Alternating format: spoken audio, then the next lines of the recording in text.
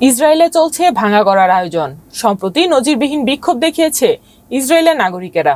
রাজনৈতিক সংকট আরও বাড়লে ইসরায়েলের অস্তিত্ব হুমকির মুখে পড়তে পারে বলে মনে করা হচ্ছে। বিগত কয়েক বছরে ইসরায়েলে বেশ কয়েকবার সরকার পরিবর্তন হয়েছে। সম্প্রতি ফিলিস্তিনিদের উপর চালানো নির্যাতনের বিরুদ্ধে ইসরায়েলি নাগরিকরাও বিক্ষোভ দেখিয়েছে। পশ্চিম তীরে জবরদখল ও অবৈধ বসতি স্থাপনের বিরুদ্ধেও বিক্ষোভ হয়েছে দেশটিতে। সর্বশেষ ইসরায়েলের প্রতিরক্ষা মন্ত্রীকে বরখাস্ত করার পর প্রধানমন্ত্রী বেনিয়ামিন নেতানিয়াহুর বিরুদ্ধে ব্যাপক বিক্ষোভ শুরু হয়েছে।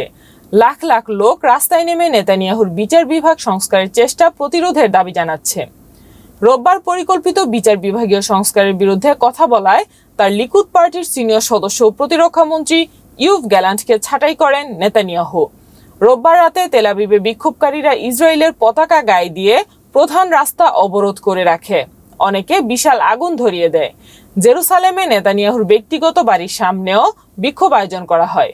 নেতানিয়াহুর ডানপন্থী দল লিকুদ পার্টির সিনিয়র সদস্য গ্যালান্ট দলের প্রথম কর্মকর্তা হিসেবে শনিবার বিচার বিভাগ সংস্কার প্রস্তাব স্থগিত করার পরামর্শ দেন। নেতানিয়াহু তার কর্তৃত্ব জোরদার করার জন্য বিচার বিভাগের ক্ষমতা খর্ব করতে চাচ্ছেন বলে ব্যাপকভাবে প্রচলিত রয়েছে। বেনিয়ামিন নেতানিয়াহুর প্রস্তাবিত বিচার বিভাগীয় সংস্কারের মধ্যে কোনো প্রধানমন্ত্রীকে পদের অযোগ্য ঘোষণার কঠিন শর্ত যোগ হয়েছে। বিরোধীরা এই আইনকে নেতানিয়াহু নিজেকে রক্ষার জন্য ব্যক্তিগত আইন বলে বর্ণনা করছেন। চলতি সপ্তাহে প্রস্তাবটির উপর ভোটাভুটি হতে পারে বলে ধারণা করা হচ্ছে। ইউভ গ্যালান্ট মনে করেন প্রস্তাবটি নিয়ে সমাজে ব্যাপক বিভাজন সৃষ্টি হয়েছে। এটি সামরিক বাহিনীর মনোবল ভেঙে দিবে। ইসরায়েলের শত্রুদের সাহসী করে তুলবে। গ্যালান্ট শনিবার বলেছিলেন, আমার মনে হচ্ছে আমাদের শক্তির উৎস ক্ষয় হয়ে যাচ্ছে।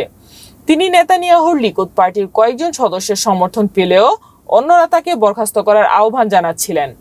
অন্যদিকে বিরোধী দলের নেতা ইয়াইল লাপিদ বলেন, গ্যালান্টকে বরখাস্ত করা ছিল জাইনিস্ট বিরোধী সরকারের নতুন খারাপ কাজ। এটি জাতীয় নিরাপত্তাকে ক্ষতিগ্রস্ত করবে।